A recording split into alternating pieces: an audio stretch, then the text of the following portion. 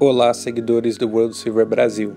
Hoje vamos falar sobre a Australian Lunar Ox de uma onça de prata. À frente apresenta uma imagem de perfil da Rainha Elizabeth II, retratada por Ian Rank Bradley. Podemos ver escrito Elizabeth II, Austrália, peso, pureza, material, denominação monetária e ano de fabricação da moeda. O verso desta linda moeda apresenta a imagem de um boi e um bezerro na grama com colinas ao fundo.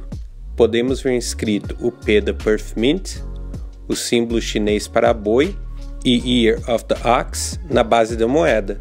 Seu ano de fabricação é 2009, denominação 1 dólar australiano, peso 31,103 gramas ou 1 troy ounce, pureza 99,9% de prata, diâmetro 45,6 mm, espessura 2,6 mm, com a borda serrilhada.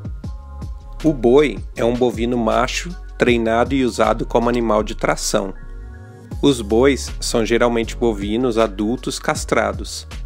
A castração inibe a testosterona e a agressão, o que torna os machos mais dóceis e seguros para o trabalho.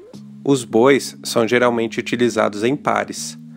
Trabalhos leves, como transportar itens domésticos em boas estradas, podem exigir apenas um par, enquanto para trabalhos mais pesados, outros pares seriam adicionados conforme necessário.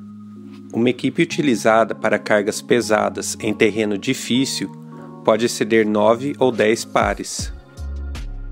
Se você quiser adquirir esta e outras moedas de alta qualidade com o melhor preço do mercado, visite agora mesmo nosso site www.worldsilver.com.br. Não esqueça de curtir, compartilhar e se inscrever no nosso canal.